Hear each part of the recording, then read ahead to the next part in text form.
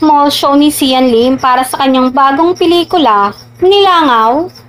Viral at pinag-uusapan ngayon ng ilang mga netizens sa ilang mga social media platforms at ilang mga entertainment news sites ang mga video na kuha mula sa mall show at premiere night ng pelikula ni Sian Lim na Playtime.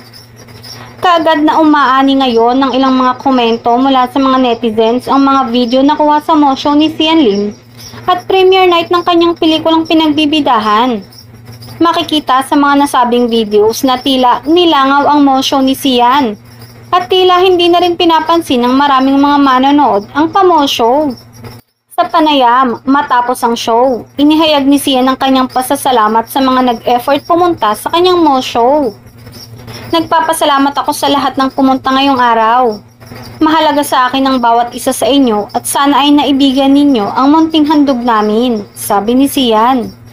Gayunpaman, ito ay di naging hadlang para kay Sian na magbigay ng isang memorable at masayang performance gaya ng kanyang mga tagahanga.